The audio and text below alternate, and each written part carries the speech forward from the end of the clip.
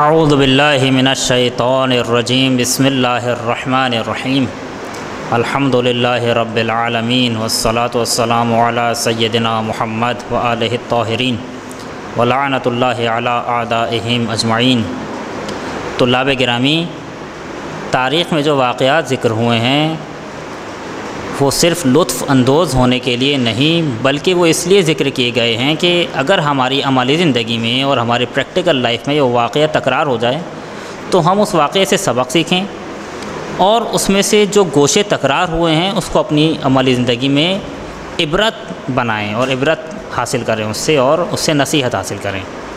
لہٰذا ہم روزانہ ایک واقعہ حضرات کی خدمت میں پیش کریں گے تاکہ اس ایک واقعے کو آپ بہت زیادہ اس کے بارے میں سوچیں۔ اور اپنی عملی زندگی میں اس سے نصیحت حاصل کریں۔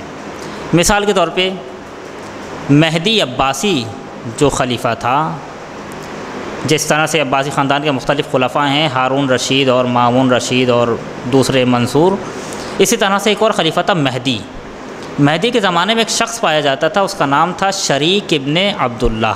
وہ اپنے زمانے کا بہت بڑا عالم بھی تھا، بہت بڑا فاضل بھی تھا اور لوگ اس پر اعتبار کیا کرتے تھے۔ یہ مہدی بھی اس شریک یعنی شریک ابن عبداللہ سے بہت محبت کرتا تھا اور چاہتا تھا کہ شریک مہدی کے ساتھ مل کر کام کرے۔ مہدی عباسی چاہتا تھا کہ شریک کو اپنا قاضی بنا لے اور شریک اس کے بچوں کو درس حدیث سکھائے۔ مگر شریک منع کر دیا کرتا تھا کہ میں تمہارے ساتھ کام نہیں کر سکتا اور تمہارے بچوں کو نہیں پڑھا سکتا کیونکہ تم ایک ظالم خلیفہ ہو اور میں ظالموں کا ساتھ نہیں دے سکتا۔ یہاں تک کہ مہدی نے ایک مرتبہ کہا کہ اے شریک، میں تمہیں تین آپشنز دے رہا ہوں۔ تین میں سے کوئی ایک آپشن تمہیں ضرور قبول کرنا ہے۔ اور ہو نہیں سکتا کہ تم ایک بات نہ مانو۔ پہلا آپشن یہ ہے کہ تم قاضی بن جاؤ میری حکومت کے۔ دوسرا آپشن یہ ہے کہ تم میرے بچوں کو پڑھانا شروع کر دو۔ تیسرا آپشن یہ ہے کہ تم میرے ساتھ ابھی کھانا کھاؤ، دوپہر کا کھانا کھاؤ۔ تو شریک نے سوچا کہ دوپہر کا کھانا کھانا بہت آسان ہے۔ اور اس نے کہا کہ ٹھیک ہے، میں تمہارے ساتھ ابھی کھانا کھا لیتا ہوں۔ بادشاہ نے حکم دیا کہ جتنا بہترین کھانا بنا سکتے ہو بناؤ۔ بہت ہی بہترین کھانا سجایا گیا، دسترخوان چن دیا گیا اور پھر یہ شریک بادشاہ کے ساتھ بیٹھا کھانا کھانے کے لیے اور اس نے خوب سیر ہو کر کھانا کھایا۔ ایسا کھانا اس نے کبھی نہیں کھایا تھا۔ دیکھنے والے نے دیکھا تو کہا کہ دیکھو، آج شریک نے کھانا کھا لیا ہے، کل یہ قاضی بھی بن جائے گا اور اس کے بچوں کا استاد بھی بن جائے گا۔ یہی ہوا۔ کچھ دن کے بعد یہ شریک قاضی بھی بن گیا اور بادشاہ کے بچوں کا استاد بھی بن گیا۔